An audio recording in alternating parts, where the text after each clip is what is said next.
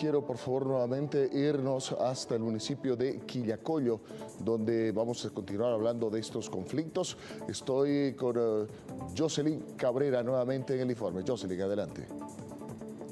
Roberto, en realidad eh, las eh, personas que se encuentran ya aquí son representantes de distintos eh, distritos y ellos están aguardando todavía de que lleguen los dirigentes de Cotapache. Sin embargo, vamos a tratar de adelantar algo con precisamente la persona que está representando a estos distritos. Estamos en vivo para TV, se está aguardando todavía la llegada de dirigentes de Cotapache. Estamos aguardando a los, a, a los representantes de, de, la regional Cotapache. Por favor, un minuto más, hoy está llegando, dice. Por favor. Con ellos ya se han reunido seguramente. Claro, anoche nos hemos reunido hasta las 11 de la noche por eso no podemos decir que hay buenos acuerdos de alguna manera. Sí, hay buenos acuerdos.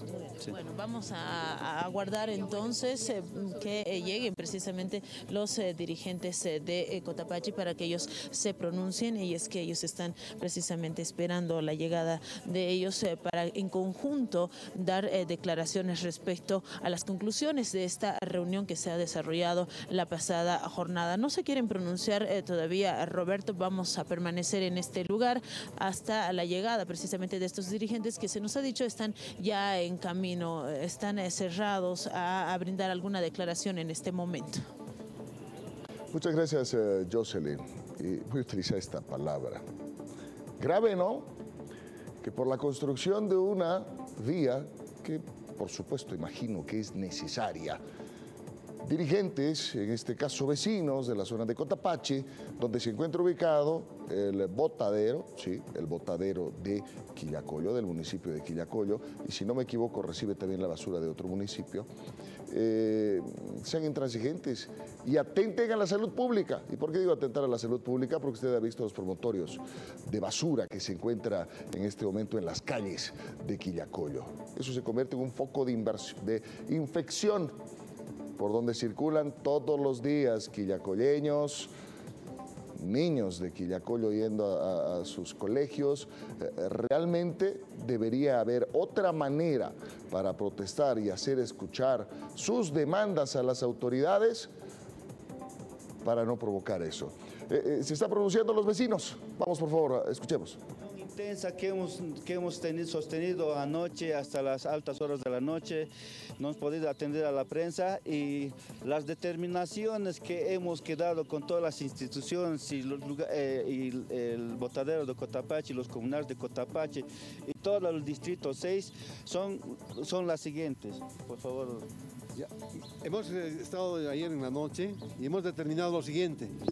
Hoy le damos plazo al gobernador hasta el mediodía Caso contrario, el día de mañana, los 10 distritos, incluido Cotapache, etcétera, etcétera, vamos a realizar un bloqueo general en el, distrito, en el municipio de Quillacollo.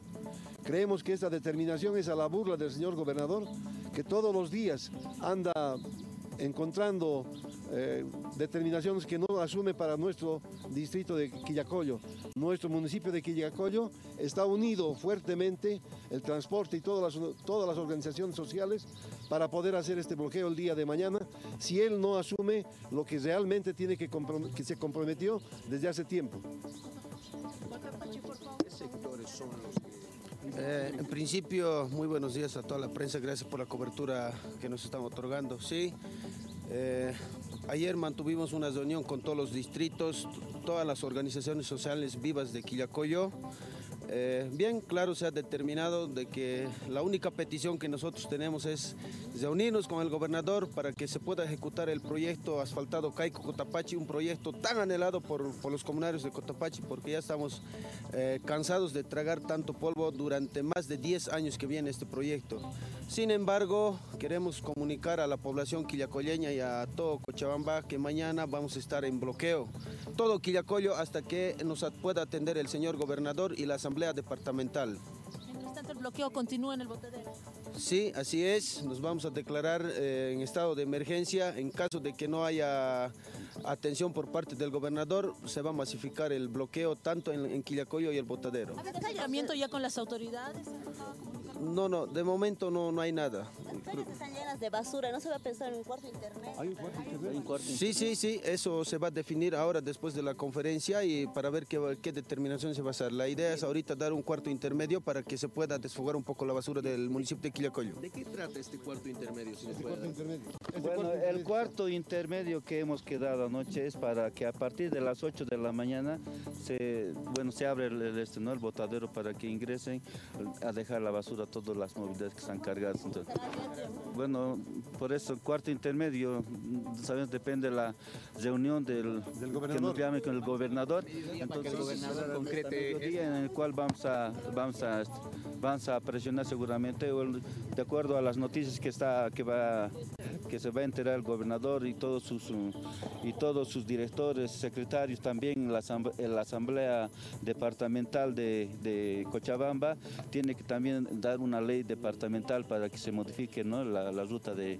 de lo que estamos pensando que se haga mucho- Eh, bueno, para Eh, Roberto, es eh, el pronunciamiento entonces eh, de los dirigentes respecto precisamente a las conclusiones a las que ha la reunión eh, que ellos han sostenido con dirigentes de Cotapachi durante eh, la pasada jornada. Un plazo le han dado al gobernador hasta el mediodía para que se pronuncie respecto precisamente a la ejecución eh, de este camino que en todo caso conecta a Cotapachi con el, el sector de Caico. Mientras tanto, ah, van a ingresar en un cuarto intermedio para que se pueda hacer el recojo de la basura que se ha venido acumulando desde hace ocho días en el municipio de Quillacoyo. Roberto. Gracias, eh, Jocelyn. A ver, vamos a desmenuzar un poquito más. Eh, eh, ¿Quiénes han convocado esta conferencia de prensa hoy por la mañana? Le voy a decir. Comunarios de Cotapache, Control Social de Quillacoyo, comerciantes de Quillacoyo y el autotransporte.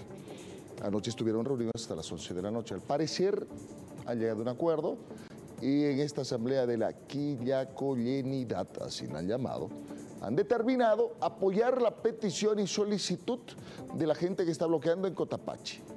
Cuarto intermedio, ellos mencionan. Este cuarto intermedio se va a dar donde los comunarios de Cotapache van a abrir, lo llamemos así, las puertas del botadero, o en todo caso dejar de bloquear, hasta el mediodía.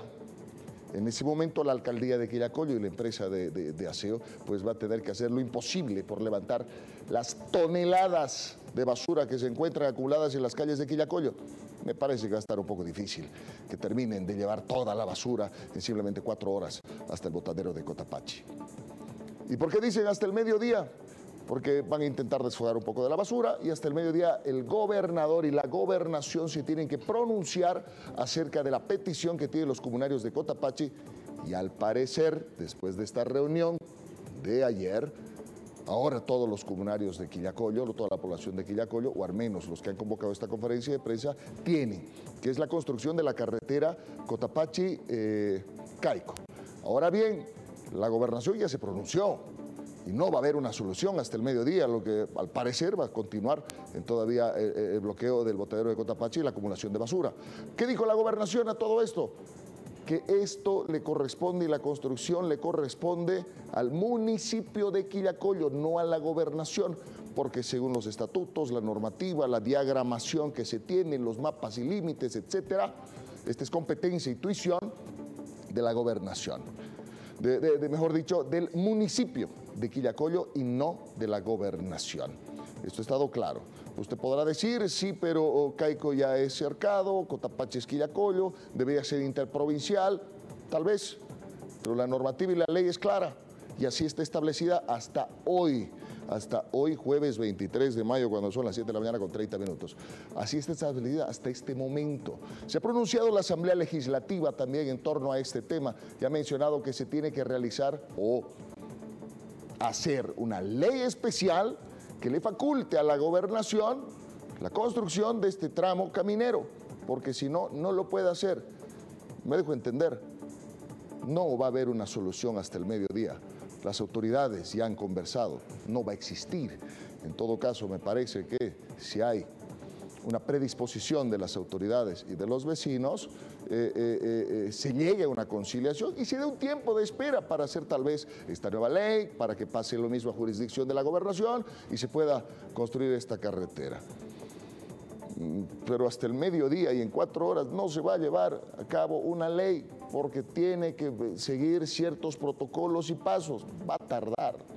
O sea, si este conflicto de verdad no llega a buen puerto y hay un entendimiento entre las autoridades y los vecinos, Quillacollo va a continuar así. Jocelyn Cabrera, muchísimas gracias. Voy a estar al pendiente de nueva información. Así, nomás, está Quillacollo. Continuamos.